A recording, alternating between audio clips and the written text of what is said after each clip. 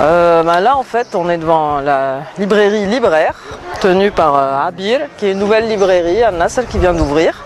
Aujourd'hui, on fait l'inauguration et je fais la signature du tome 2 de Willis from Tunis. Donc, euh, ça se passe bien.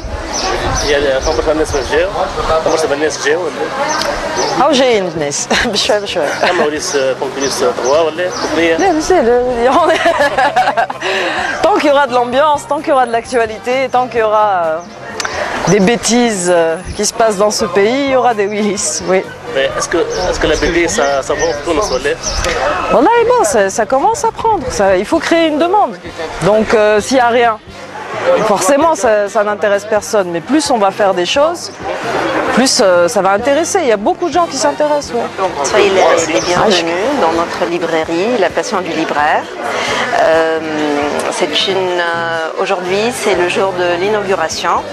Euh, nous sommes très contents et euh, très honorés de présenter le deuxième livre de Willis from Tunis